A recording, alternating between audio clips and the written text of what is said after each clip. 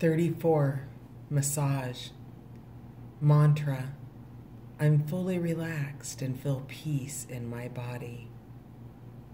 Bodies love to be touched. Massages are a vital part of self care because most people live with some amount of discomfort.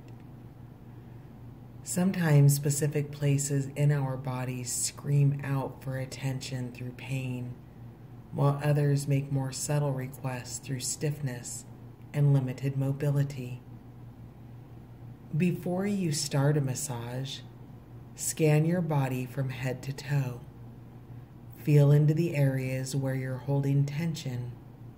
Set the intention of releasing your physical and emotional discomfort during the massage. If it's within your budget, book a massage with a professional as a royal treat for yourself.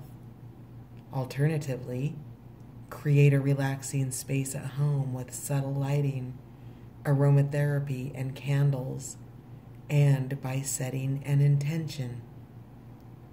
Massage your hands and feet, exploring reflexology techniques or your own intuitive movements. You can also ask a loved one if they'd like to exchange massages with you. Remain mindful throughout the process and see what comes up for you on a physical, emotional, and spiritual level as you give and receive the gift of touch.